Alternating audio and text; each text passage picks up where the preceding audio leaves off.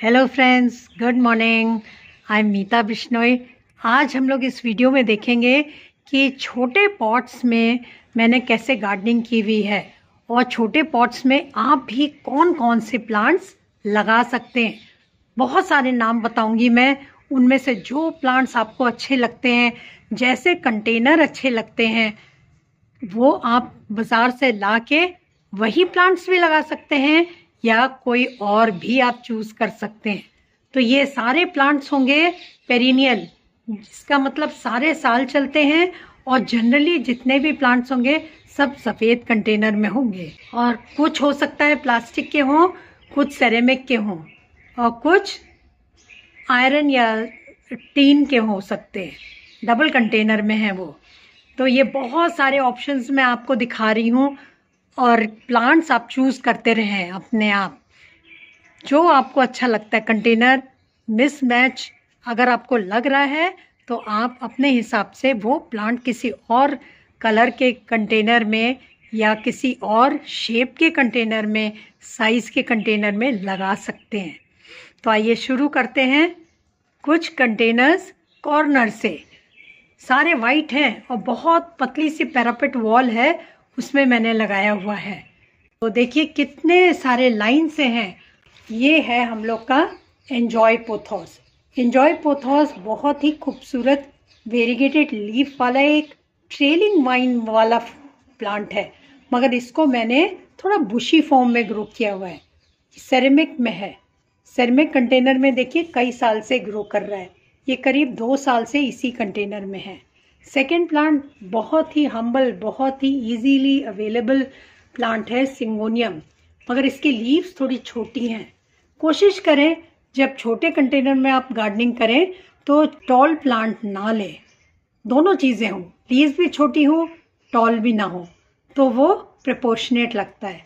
तो ये सिंगोनियम है, क्योंकि सिंगोनियम की ही वैरायटीज आती हैं, जिनमें बहुत बड़ी लीव्स भी होती हैं। अगला है ये मार्बल क्वीन पोथॉस ये देखिए प्लास्टिक में है और ये बुशी फॉर्म में ग्रो किया है। ये भी एक वाइन फॉर्म में ग्रो करने वाला प्लांट है, मगर इसमें मैंने बुशी बनाया हुआ है इसको। इसकी ट्रीलिंग वाइन नहीं रखी हुई है। अब अगला है money plant simple golden pothos और ये देखिए, ये काफ़ी भर चुका है और ये एक सेरेमिक कंटेनर में लगा हुआ है। और ये सेरेमिक कंटेनर में करीब दो साल, ढाई साल से लगा हुआ है। ये एक और प्लांट है, जो हम लोग ने पहले देखा था मार्बल क्वीन पोथोस वही है ये। पोथोस की एक वैरायटी है। ये डबल कंटेनर है, देखिए। ये ब्लैक कलर का है, इसके साथ ये है। ये एक सेरेमिक सर्कुलर कंटेनर है जिसमें ने हवाथियाज लगाए हुए हैं। हवाथियाज भी बहुत खूबसूरत होते हैं टॉल नहीं होते, भरते चले आते हैं। इनमें पप्स निकलेंगे और खूब सारे हो जाएँगे। ये एक ट्रेलिंग माइन है ये अर्दन पॉट में, देखिए आपको झांकता हुआ नज़र आ रहा होगा। मगर ये इसके साथ नज़र नहीं आता, क्योंकि ये छिप जाता है पूरी वाइन से। और ये ट्रेलिंग वाइन है, ये है एक सर्क्यूलेंट प्लांट जिसको टैंगल हार्ट्स कहते हैं। इसकी लीव्स बहुत खूबसूरत होती हैं। और ये ज़्यादातर जितने भी प्लांट्स में दिखा रही हूँ, ये सारे प्रोपोगेट हो जाते हैं कटिंग से। मल्टीप्लाई कर सकते हैं आप इजीली इसकी भी थोड़ी सी टहनी निकाल के लगा देंगे और ये प्रोपोगेट हो जाएगा। ये मदर ऑफ़ मिलियंस है। ये कलंचू या कैलंकोई की एक वैरायटी है। इसका तरीका देखिए मल्टीप्लाई करने का। बहुत सिंपल है प्रोपोगेशन का मेथड जो ये टिप्स में में ये निकले हुए हैं छोटे छोटे जो दिख रहे होंगे आपको, बस ये प्लांटलेट्स हैं। और प्लांटलेट से ये इजीली ग्रो करता है।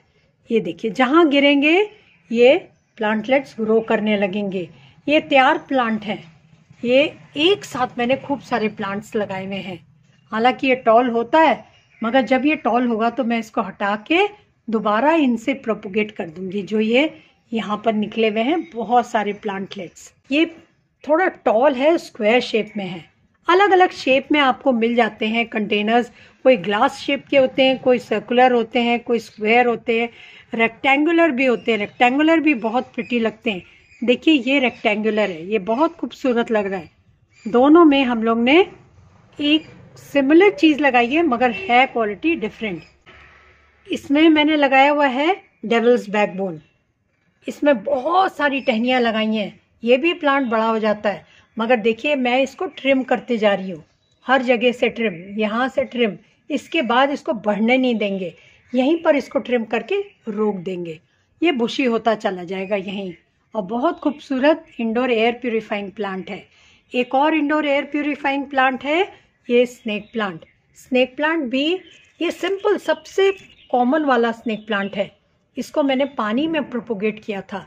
इसकी लीफ काट के बड़ी सी ये लगा दी थी। यहाँ से अब छोटे छोटे पप्स निकल रहे हैं। और ये कंटेनर देखिए ग्लास शेप में कितना खूबसूरत लग रहा है। सारे शेप्स अलग अलग हैं कंटेनर्स के। अब ये वाला गोल्डन पोथॉस है, जो हम लोग का सिंपल मनी प्लांट होता है। और ये बुशी फॉर्म में ग्रो किया है। और ये वाला प्लांट नियॉन पोथॉस है। नियॉन कलर आपको दिख रहा होगा, फ़र्क दिख रहा होगा, क्योंकि ये ग्रीन के साथ है। ये भी एक वाइन फॉर्म में ग्रो करने वाला प्लांट है। ये भी आप लग सकते हैं। ये ये जितने भी प्लांट्स दिखा रही हूँ, ये बहुत वर्सेटाइल हैं। अलग अलग तरीके से आप इनको ग्रो कर सकते हैं। ये वाला सफ़ेद नहीं है, मगर ये प्लास्टिक कंटेनर में है। ये भी एक स्नैक प्लांट की वैरायटी है। इसको कहते हैं वेल फिन इसके जो लीव्स का शेप होता है, वो वेल की फिन जैसा होता है। ये भी एक बहुत प्रिटी प्लांट है और ये वाला प्लांट इस ये यूफोबिया की एक वैरायटी है। यूफोबिया डेकराई। ये एक एलो की वैरायटी है। ये भी आप देख रहे होंगे। ये बहुत सुंदर कंटेनर में ये भी पिंक कलर की लीव्स वाला हो रहा है। डेविल्स बैकबोन ये विंटर्स आते ही इनमें लीव्स थोड़ी पिंक कलर की हो जाती हैं और ये झड़नी भी शुरू हो जाती है। ये यूफोबिया की वही वैरायटी है और ये बहुत प्रिटी है। इनफैक्ट ये वाला प्लांट मेरे को गिफ्ट किया था मेरी एक बहुत अच्छी फ्रेंड ने और इसको मैंने यहाँ रखा हुआ है, बिना छेद के है ये। और ये छोटे कंटेनर में बहुत ही प्रिटी लगता है। देखिए, और बहुत मिनिमम केयर में कई बार मैं इसको इंडोर ये सारे प्लांट्स आप इंडोर भी रख सकते हैं। कुछ दिन मैं इंडोर रखती हूँ, फिर थोड़े दिन बाद इनको बाहर शिफ्ट करती हूँ। ये एक और स्नेक प्लांट की वैरायटी है, ये क्रिप्टेंथस है। ये एलो की वैरायटीज़ है क्रिप्टेंथस है। ये वाला प्लांट बहुत ही खूबसूरत प्लांट है, ये साइकस का है। और आप इसके कॉडेक्स से देख सकते हैं, ये काफ़ी पुराना है। ये करीब तीन साल पुराना है। और ये छोटे से कंटेनर में लगा हुआ है है डबल कंटेनर में। ये अलग से है। इसको काले कंटेनर प्लास्टिक कंटेनर में ग्रो किया था और इसमें ऐसे डाला हुआ है। और ये हम लोग का एडीनियम है। ये भी करीब तीन साल पुराना है। कॉडेक्स से आप समझ गए होंगे।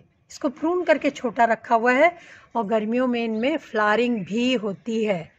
तो देखिए कितने सारे प्लांट्स हैं और सब कितने प्रिटी लग रहे हैं। तो आप भी ज़रूर छोटे कंटेनर्स में कुछ प्लांट्स लगाएँ। वो घर के अंदर भी इस्तेमाल होंगे टेबल पे रखने के और बाहर भी बहुत खूबसूरत लगते हैं। हल्की सी केयर थोड़ी सी ज़्यादा करनी पड़ती है। क्योंकि इनके कंटेनर का साइज़ छोटा है, मिट्टी कम है और साथ में पानी इसमें जल्दी सूख जाता है। तो विंटर्स में तो एकदम केयर खास करनी नहीं पड़ती। Thanks for watching